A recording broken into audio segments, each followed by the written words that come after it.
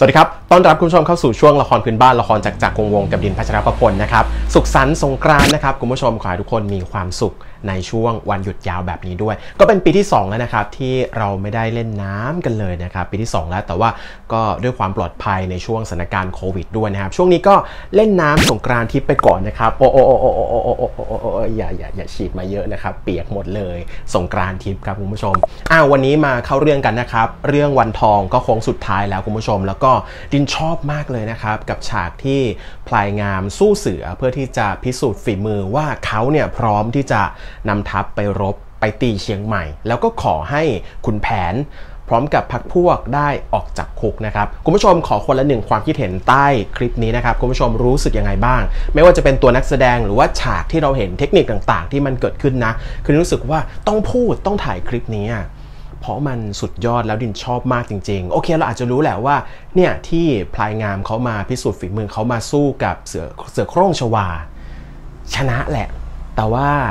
เขาก็ไม่ได้ให้มันดูง่ายใดขนาดนั้นลุ้นไหมครับลุ้นไหมตอนที่ดูอะดิมแบบโคตรลุ้นเลยรู้สึกว่าเออมันต้องอย่างนี้ มันต้องทำให้เราลุ้นไม่ใช่ว่า เออ มันจะชนะเลยอย่างนั้นอะอันนี้คือลุ้นมีแบบพลาดท่าเสียทีโอยบาดเจ็บนะครับพูดถึงเนื้อเรื่องก็คืออะเดี๋ยวหลังจากเนี้ยพิสูจน์เขาก็ทำสำเร็จนะครับพิสูจน์เสร็จแล้ว จากนี้ก็จะไปรบแล้วก็ทำสำเร็จมันเป็นการเดิมพันที่สูงมาก แม้ว่าจะมีช่วงหนึ่งนะครับที่พ่อสอนนะครับ คู่ซีของขุนช้างนะครับ จะเล่นวิธีสกปรกปลุกเสือขึ้นมาอีกนะครับนะแต่ว่าพลายงามก็เอาชนะไปได้นะครับ คือเขาจัดเต็มมากจัดเต็มจัดเต็มแบบทั้งอะไรเสือโคร่งเสือดำเออหลายคนก็แซวเสือดำนะ แล้วก็ควายธนูนะครับ อันนี้ชอบมากเลย จัดเต็มจริงเรื่องของแบบเทคนิคอะ่ะ มีคาถงคาถาแสงเสริมคือดินชอบอะไรแบบนี้อยู่แล้วนะครับ ซึ่งตอนที่เดินดูอะในใจดินนะดินชมว่าเออโหเสือเสือเสือช่องวันเว้ยทั้งดูแบบสมจริงมาก คือชื่นชมที่แบบวงการละครไทยแบบก้าวไปข้างหน้าแบบเรื่อยๆเลยนะครับ นี่คือเราชมแล้วนะจนกระทั่งพอละครจบ เฮ้ยพี่สันสีเก้าหล่อนะครับภูมิกับของเรื่องก็มีการเปิดเผยคลิป ซึ่งเป็นคลิปเบื้องหลัง ยิ่งรู้สึกว่าโอ้โห คือมันเป็นคลิปที่เราเคยเห็นในต่างประเทศอะเออคลิปแบบภาพยนตร์ต่างประเทศที่ว่ามันจะเป็นว่าโอเคเบื้องหลังนะว่าอันนี้กรีนสกรีนแล้วตอนออกมาเสร็จแล้วเป็นยังไงบ้างเออเขาก็มีแบบนั้นนะดินดูแล้วแบบเฮ้ย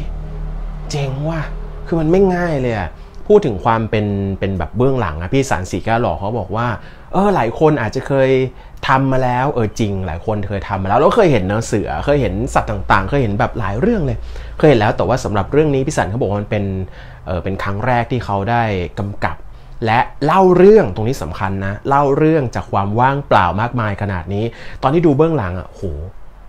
ว่างเปล่าจริง ๆ ไม่มีอะไรเลย แล้วต้องจินตนาการว่าเออ เสือมันเดินมาอย่างนี้ต้องออกแรง แล้วก็มีฉากที่ว่าเขาอะไรกระโดดขี่หลังเสือนะขึ้นหลังเสือขึ้นหลังเสือปุ๊บอ๋อมันเป็นอะไรนะไม้กระดกอะที่เราเล่นตอนเด็กๆอะตึกตึกตึกเงี้ยอ๋อมันเป็นอย่างนี้นี่เอง คือมันไม่ได้ถ่ายง่ายว่ามีความสับซับซ้อนของรายละเอียดที่สู้กับเสืออยู่นะน่าจะถ่ายหลายรอบอยู่เพราะฉะนั้นเป็นเบื้องหลังที่เห็นแล้วก็เออเขาบอกว่าเขาก็ลุ้นตัวพิสารเขาบอกเขาก็ลุ้นเหมือนกัน เออเพราะมันเป็นครั้งแรกก็ลุ้ว่ามันจะออกเป็นไงจะตรงใจไหมสุดท้ายมันก็ออกมาแบบที่เราเห็น นั่นแหละต้องถามคุณผู้ชมละคุณผู้ชมมาแสดงความคิดเห็นใต้คลิปนี้หน่อยนะครับบอกไปถึงผู้กำกับหน่อยบอกไปถึงทีมงานหน่อย ส่วนตัวดินอะยกนิ้วให้เลยคือดินยิ่งรู้สึกว่าโอ้โห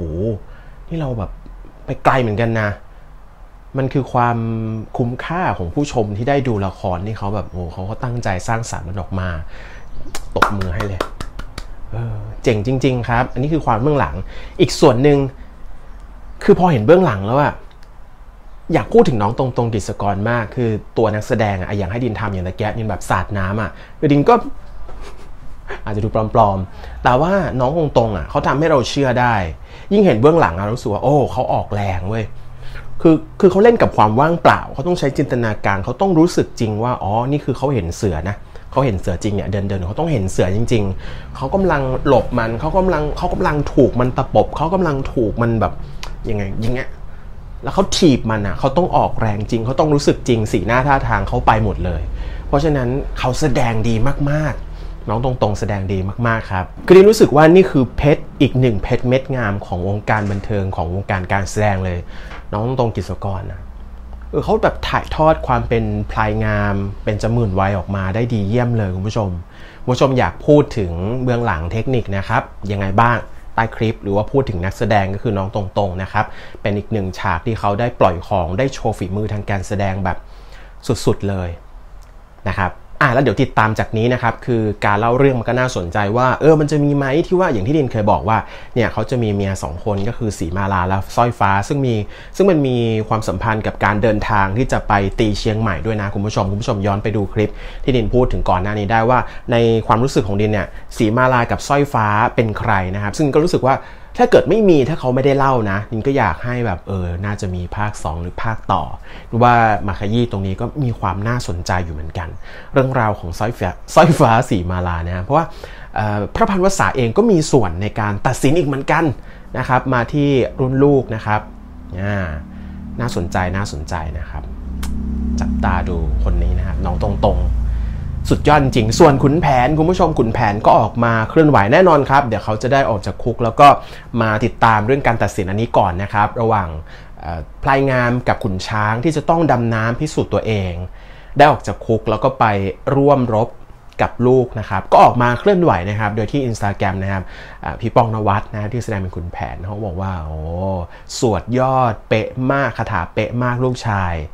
เยี่ยมเยี่ยมนะครับ ก็คือฉากที่ไปสู้กับเสือจริง ๆ แล้วตอนที่ดูรู้สึกว่าเออ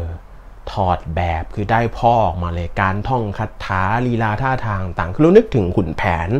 ตอนแบบหนุ่มๆเลยอะ่ะเออนึกถึงตอนนั้นซึ่งเขาถอดออกมาได้เป๊ะแล้วเราเชื่อว่า นี่คือลูกขุนแผนนี่คือไปเรียนคาถาของพ่อมา พยายามที่จะพิสูจน์ตัวเอง แล้วทำได้สำเร็จจริง คือมันดินรู้สึกว่าสำเร็จทั้งในความเป็นละครและตัวของนักแสดงเองที่ โอ้เสียงชื่นชมถล่มทลายมาก ๆ เลย คุณผู้ชมครับ วันนี้พอแค่นี้ก่อนนะครับ เดี๋ยวดินก็อยากจะพูดถึง น้องใหม่ดาวิกากับน้องตรงๆอีกในความเป็นแม่ลูกเดี๋ยวคลิปหน้านะคุณผู้ชม แล้วเดี๋ยวเราติดตามวันทองโค้งสุดท้ายไปด้วยกัน คุณผู้ชมครับ สงกรานแม้ว่าเราจะไม่ได้เล่นกันมา 2 ปีจนเราต้องมาสงกรานทิปกันเนี่ยนะครับ มีสารนงสารน้ำสงกรานทิปกันเนี่ยนะครับ แต่ว่าก่อนหน้าสงกรานยุคโควิด ก่อนยุคโควิด เป็นยังไงบ้าง เดี๋ยวดินมีภาพให้ติดตาม แล้วก็จะไปแชร์ความรู้สึกหรือว่าสิ่งที่มันเคยเกิดขึ้นก่อนยุคโควิดนะครับ สักกี่ปีละสัก 5 ปีก่อนโควิดก็แล้วกัน คุณผู้ชมติดตามได้ที่ช่องรีวิวกรุงเทพนะครับเดี๋ยวดินแปะลิงก์ไว้ด้านล่างแล้วก็ช่วงท้ายด้วย ไปกดติดตามได้น่าจะลงคลิปน่าจะมืดๆหน่อยนะ วันนี้ขอบคุณที่มาติดตามรับชมเดี๋ยวเราพบกันในคลิปหน้า สวัสดีครับ